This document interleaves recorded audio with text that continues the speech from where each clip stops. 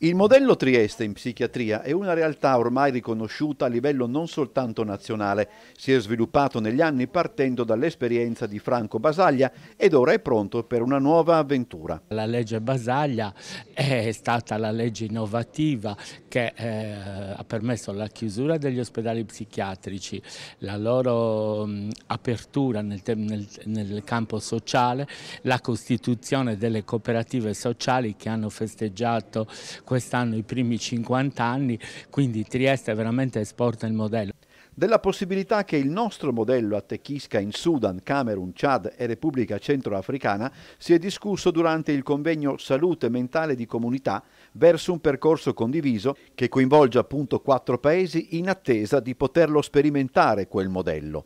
L'iniziativa è stata organizzata dalla sede di Khartoum della ICS. Noi come Agenzia Italiana per la Cooperazione allo Sviluppo teniamo il settore della salute mentale come uno dei settori fondamentali del nostro intervento nei paesi in via di sviluppo dove operiamo, non solo quello della salute mentale ovviamente ma anche altri, altri settori che sono di competenza anche della nostra cooperazione. Non sarà certamente un passo semplice esportare questa esperienza in quei paesi, nessuno lo nasconde, anche se è altrettanto vero che ad esempio in Camerun ci si sta avviando verso qualcosa di interessante in tal senso. La salute mentale ritenuta uno stigma, i ragazzi o le persone con questa disabilità, se la vogliamo chiamare disabilità, vengono reclusi in casa o negli ospedali psichiatrici, quindi speriamo noi che col coinvolgimento di questi esperti che sono presenti oggi e con il nostro supporto anche finanziario ovviamente in futuro possiamo dare un beneficio a queste persone e ai paesi dove operiamo per una migliore gestione di queste problematiche. Molto sta cambiando, c'è una notevole sensibilità per quanto concerne la nascita delle comunità di supporto. Diciamo che c'è un terreno fertile per adattare il modello Trieste, il modello italiano.